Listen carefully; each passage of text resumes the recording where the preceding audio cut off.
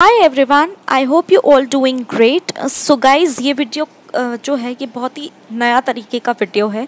जैसे कि आप सभी लोगों के पास पुरानी साड़ियाँ होंगी अगर आपके शादी का काफ़ी टाइम हो गया है, आपका वेट इंक्रीज़ हो गया है और या फिर आपको पुराने ब्लाउजेज़ नहीं हो रहे हैं, या फिर आप अपनी मम्मी की साड़ी ट्राई करना चाहते हैं सो ये वीडियो उन सभी लोगों के लिए है जो ऐसा कुछ सोच रहे हैं, क्योंकि हम बहुत ही कन्फ्यूज़ रहते हैं कि हम, अगर हमें इस सेम फैब्रिक का ब्लाउज़ नहीं मिलेगा तो हम इस साड़ी को कैसे कैरी करेंगे। हम इस ड्रेस को कैसे कैरी करेंगे?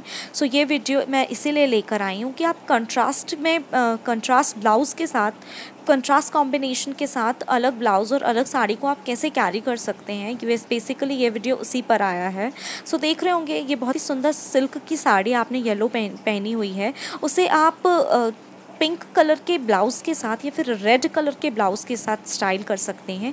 बहुत ही एलिगेंट लगेगा। अगर आपको के यहाँ पे अगर आप गर्ल हैं, आपकी बहन की शादी है या फिर आपका फेयरवेल होगा नेक्स्ट ईयर तो आप उसके लिए कुछ प्लानिंग अभी से कर रहे हैं या फिर कुछ और फ़ंक्शंस के लिए कर रहे हैं तो आप सेटिन साड़ी ले लीजिए सीक्वेंट ब्लाउज़ के साथ आप उसे कैरी कर सकते हैं।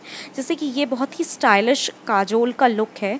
पिंक कलर की साड़ी के साथ ग्रीन कलर का ब्लाउज़ अगर आप कुछ लाइट बाबी पिंक के साथ एक्सपेरिमेंट्स करना चाहते हैं so this is the best combination आप उसे नेवी ब्लू ब्लाउज़ के साथ कैरी कर सकते हैं।